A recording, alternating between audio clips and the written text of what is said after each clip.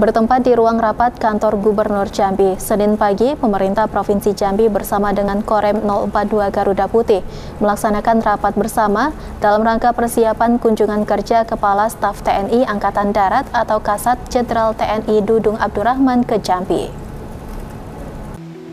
Pemerintah Provinsi Jambi melaksanakan rapat bersama dengan Korem 042 Garuda Putih guna membahas persiapan kedatangan Kasat Jenderal TNI Dudung Abdurrahman ke Jambi, bertempat di ruang rapat kantor Gubernur Jambi, Senin pagi 11 Juli 2022.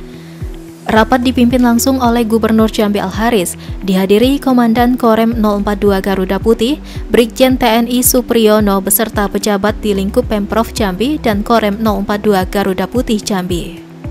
Gubernur Jambi Al-Haris mengatakan bahwa dirinya amat bangga sekali dan akan menyambut baik kunjungan Perdana Kasat TNI Dudung Abdurrahman beserta rombongan ke bumi sepucuk Jambi 9 Lurah.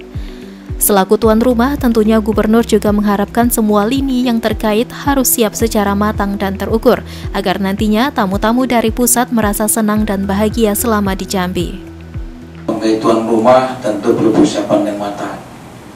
Nah, tamu kita ini penting dan kita ingin beliau happy dan Jambi, senang dan bahagia kembali ke Jakarta karena tidak ada hal yang eh, risaukan nanti di Jambi.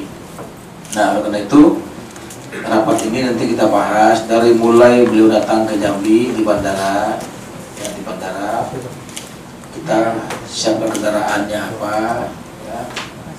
nah kemudian juga persiapan apa kemudian sampai jam berapa kemudian juga persiapan di bandara apakah nanti kita akan siapkan makan dan sebagainya.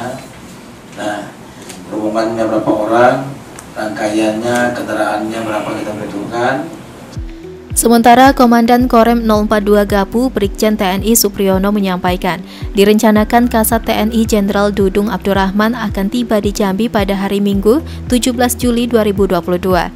Dirinya akan melaksanakan beberapa kegiatan pokok selama tiga hari di Jambi. Adapun rangkaian kegiatannya yaitu peninjauan lokasi Karhutla, launching program ketahanan pangan di Kabupaten Tebo, dan peresmian Makorem 042 Garuda Putih Jambi. Semua sepaham bahwa ini kehormatan menerima Bapak Kasat ke wilayah Jambi.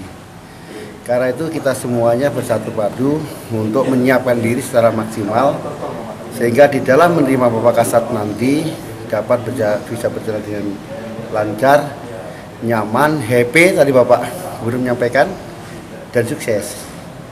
Sehingga masing-masing titik yang tadi sudah dibahas akan kita lanjutkan dan kita bahas secara teknis siapa berbuat apa dan bagaimana untuk uh, mewujudkan yang tadi jadi arahan Bapak Gubernur. Arahan utama adalah bagaimana kunjung Bapak saat ini beliau terkesan, nyaman, dan happy. Rian Chen Chen, Cek TV, melaporkan.